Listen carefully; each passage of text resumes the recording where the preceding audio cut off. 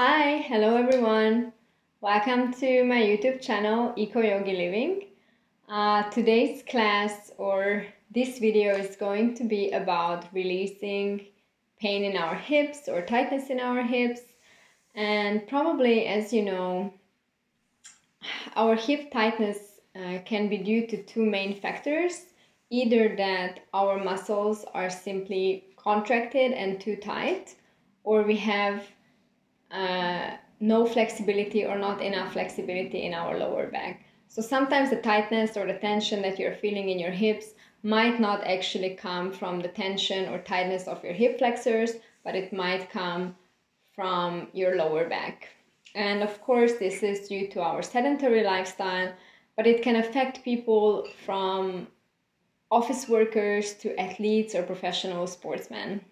So today we are going to focus on our main muscles uh, that are surrounding our hip flexors and let's get into it. So we are going to start on our back and we are going to plant our palms next to our buttocks and try to draw both of our knees to our chest. And we're going to place our hands on our knees and slowly try to circle and draw circles with our knees. So this exercise is really perfect if your hip tightness does come from your lower back, uh, from stress built up in your lower back or around your um, pelvis because this kind of movements applying pressure on our muscle groups can really release tension and just simply we are beautifully massaging back our muscle fibers to the places where they actually should be.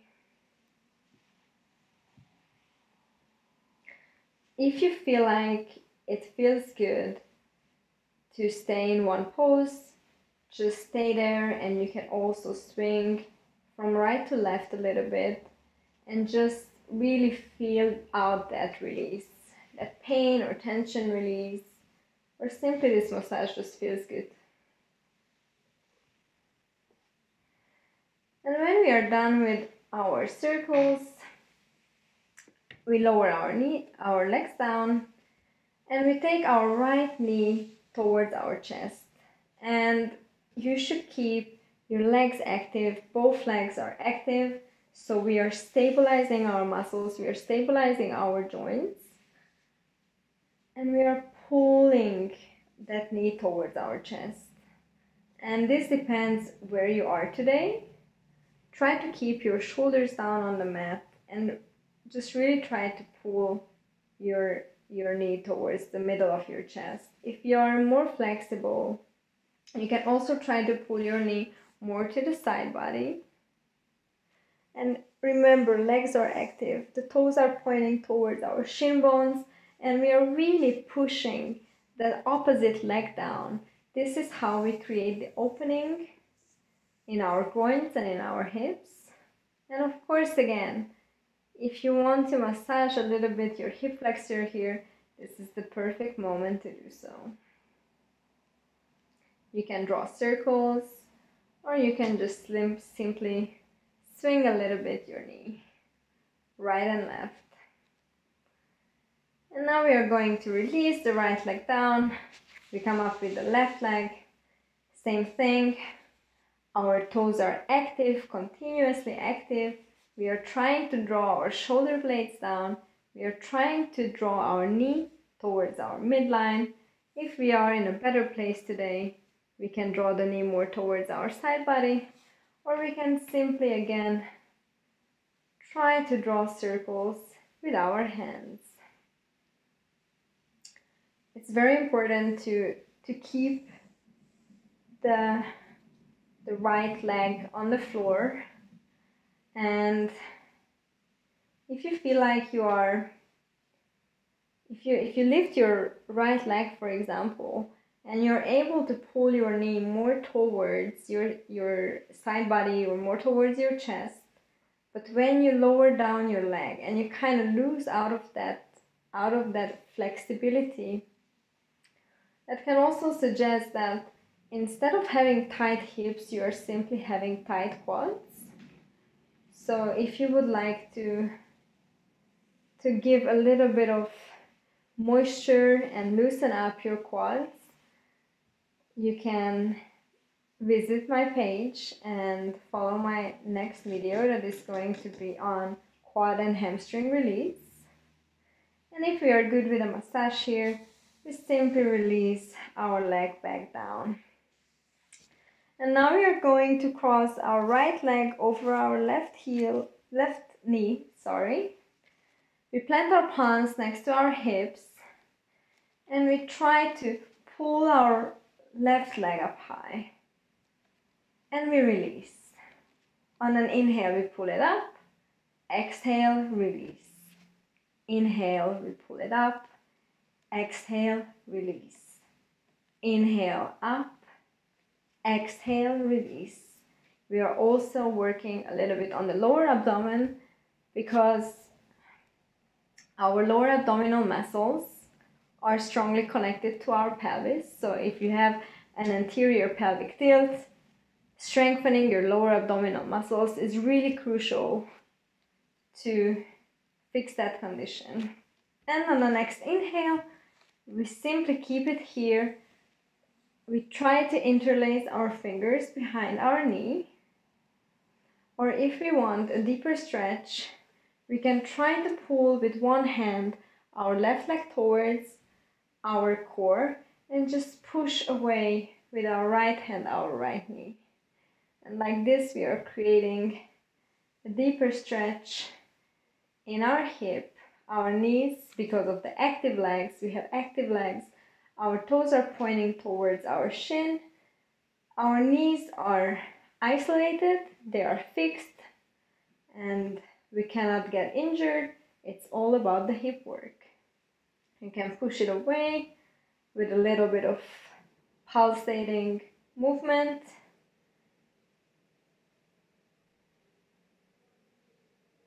And on an exhale, we release back down. We are going to cross our left leg over our right knee. Again, palms are planting down. And on an inhale, we draw it up in a 90 degree circle. Exhale, release, inhale up. Exhale, release, inhale up. Exhale, release, inhale up. Exhale, release, inhale up. And of course, if it's too much for your lower abdomen this work, you can just simply stop at the top. Interlace your fingers behind your femur and try to really pull this leg inwards, pull this leg towards your core. Or again, you can just grab your, your femur with your right hand, with your thigh, the back of your thigh, and just gently push away your left knee with your left hand. Again, we can use the pulsating movements here. Our legs are active, the toes are pointing towards our shin,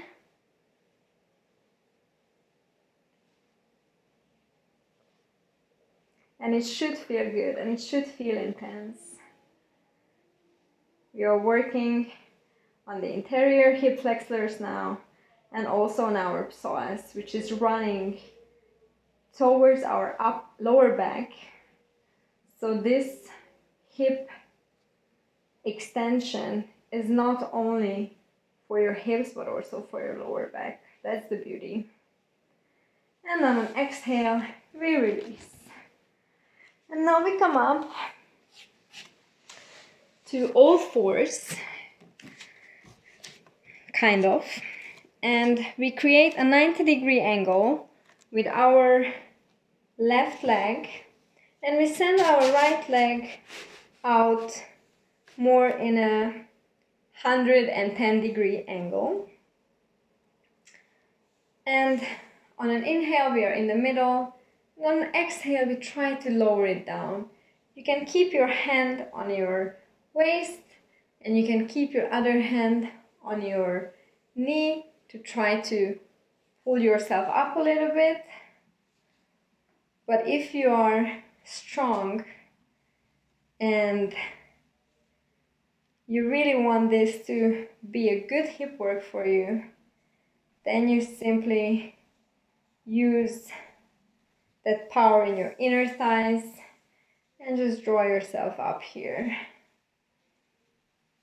Our spine is straight and we're really deepening into this here.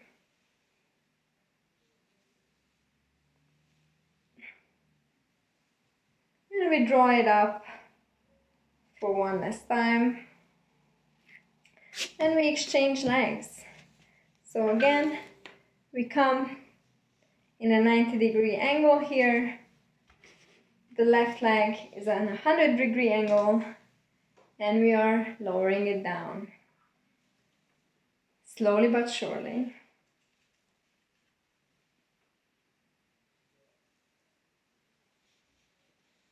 And whenever you feel that it's too too tight or you cannot go lower, just stay wherever you are. This is a progress and tight hips are a result of years and years of tension and certain choices or certain circumstances in our lives. So just be patient because opening them up takes time. And you know, it's always worth just thinking and considering that all the tightness that builds up in our lower abdominal and lower back area, including our hips, is or can be usually a sign of also emotional retention. So if you feel like there is some emotional work that you can do there, it's worth considering. And now we pull it up and we come back into the middle. And I'm going to turn a little bit so we can all see this. We're going to mobilize our hips. So we are here in a straight back position. We're kind of flexing our arms forward, so we're also strong in the arms. And on exhale, we send our hips back. On inhale, we thrust forward. Send it back, thrust forward. Send it back, thrust forward. And of course, if you're if you feel like you need a little bit of knee support here, then feel free to bring a blanket and just support yourself because support is very, very important. And we're really thrusting forward. Whenever you thrust forward, you should feel a little bit of tension coming out of the groin area. We are lubricating our joints. And one last time, we thrust forward. And now we are going to come into a squat. Well, this can be a simple squat, trying to lower your knees or it can be a yogic squat, bringing your hands to the heart and trying to push back on your knees.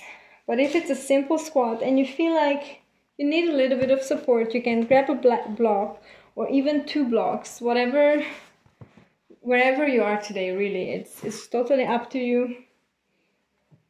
And just try to sit in this squat. Try to be here. And after a while, you can feel how the muscles in your shin bone are burning a little bit. And actually, squatting is a position that a lot of people find comfortable. But if you're not used to squatting, then this can be a little bit challenging for you, and that's okay. So, either a normal squat or a yogic squat for a bigger hip opening. And we're trying to keep our spine really, really straight here. because we are not collapsing in between our legs. That's not the point. The point is that we are creating strength, and this pose also creates strength in your back because you're holding yourself up. Your back muscles are working now. And we are here for about 15 more seconds, and now you should really feel the burn in the front of your shin.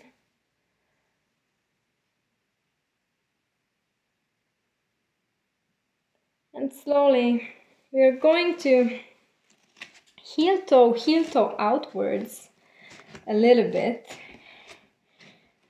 and try to lift up from our pelvis.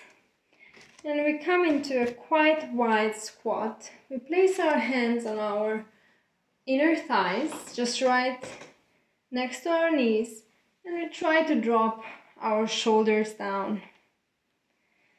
And this is not only a great exercise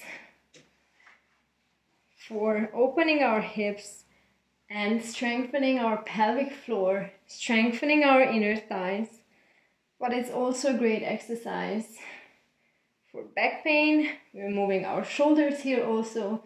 So it's really an all in one. You can also come a little bit higher if you feel that this is very too intense or if you are used to goddess pose in yoga you can definitely come even lower and just use this opportunity to use the natural movement of the body and the natural structure of the body to open through your hips